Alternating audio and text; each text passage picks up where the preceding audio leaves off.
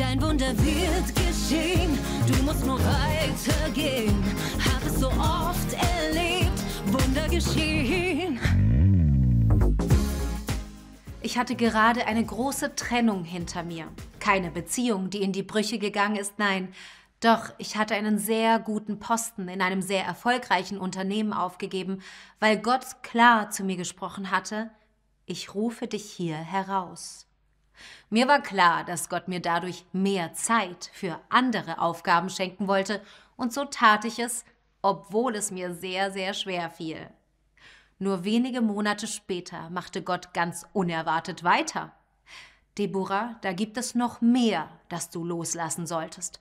Und jetzt wurde es noch schmerzhafter. Gott, ich verstehe nicht.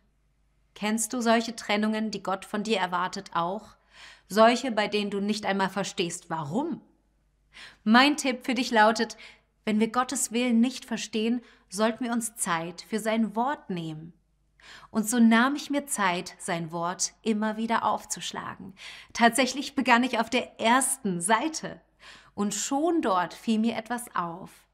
Es heißt in 1. Mose 1, Gott sah, dass das Licht gut war. Da schied Gott das Licht von der Finsternis. Es hieß davor nicht, die Finsternis ist schlecht, denn es gab vorher kein Licht, also hatte man keinen Vergleich. Erst als Gott das Licht erschuf, wurde klar, wow, das ist ja viel besser als die Finsternis, das müssen wir jetzt aber schützen und deswegen klar trennen. Und so entsteht tatsächlich unerwartet Gutes, wenn Gott eine Trennung von Dingen, Posten, Süchten oder vielleicht einer ungesunden Beziehung erwartet. Selbst wenn du das heute noch nicht sehen kannst.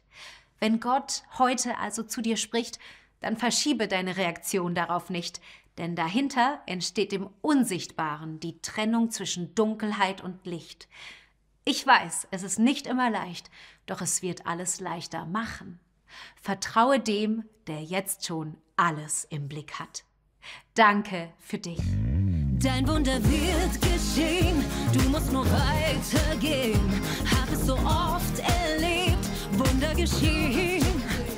Dein Wunder wird geschehen und du wirst mich verstehen, weil du es selbst erlebst. Ein Wunder für jeden Tag.